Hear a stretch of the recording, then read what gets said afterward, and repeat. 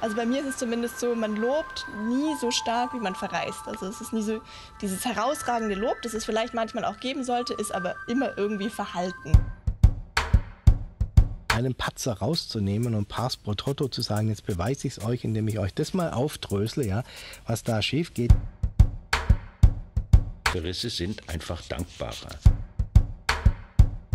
Nicht mehr ganz taufrisch, aber immer wieder schön. Dampfnudelblues von Ed Herzog. Wie kann man so eine tolle Kritik über diesen blöden Film schreiben? Wenn man verreist hingegen, dann verreist man richtig.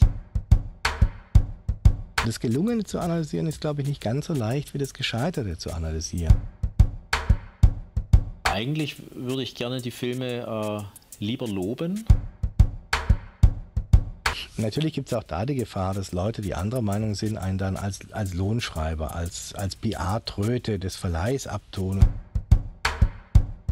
Wir haben auch Publikum, die kommen, das mit der ausgeschnittenen äh, Filmkritik aus der Tageszeitung ins Kino, äh, wo ich mich manchmal schon gefragt habe, was machen die damit? Wahrscheinlich haken sie ab, ob sie das Gleiche seien, wie der Kritiker gesagt hat.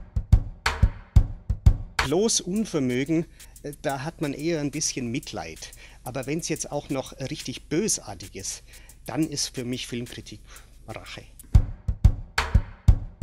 Lob ist schwerer als Tadel.